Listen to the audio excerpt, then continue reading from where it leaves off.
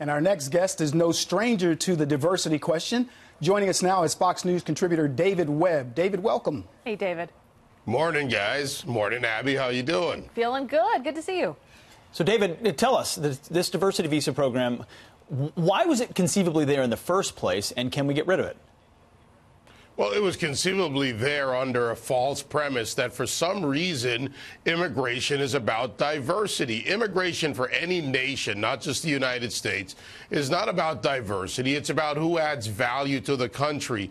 And by the first thing we should have a problem with this program is the people are called lottery winners.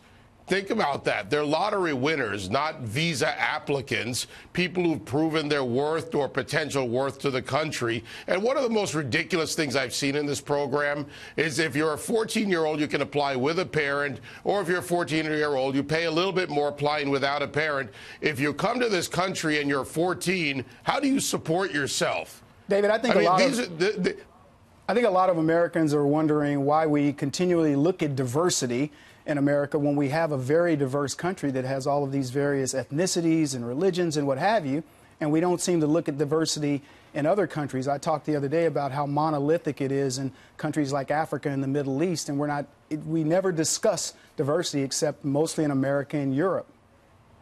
Because it really isn't about diversity. When you look at what we do as a country, you know, they say we're anti Muslim in America. Some are, and they accuse us of that. But yet, some 2 million have come into this country through various means over the past several years. When you look at America and you come here from all countries, it's not about creating some social makeup or some social experiment. It's about economic foundation, supporting yourself, supporting your families. And by the way, the president's also right. We have got to get rid of chain migration migration because what we end up having are wards of the state, or we continue to create and we continue to create an underclass of people who can't support themselves. How is that good for someone who comes to this country but cannot function within the, the society? Right, we were yeah. talking about that, Abby. We yep. have. It's interesting, though, you haven't heard Democrats speaking a lot about this. I mean, Chuck Schumer says the president is politicizing this, but for the most part, it seems like they're kind of wanting to to not go there. It seems like you might be able to get some Democrat support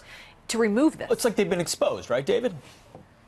Well, they have been exposed. The, the problem is that the and, and, I want people to realize that the foundation of this issue is what is immigration supposed to be? You're supposed to know who's coming to your country. They're supposed to add value to your country. Chuck Schumer and others who sponsored this bill, and frankly, Republicans yes. who in the past have failed well, to get yeah. rid of this bill, have not paid attention to the fact that there is no there is no reason for this to exist that meets any standard of common sense. Yeah. So has diversity become sort of the political correct word to use when we're trying to get things like this passed? That, that's what it appears to be to me.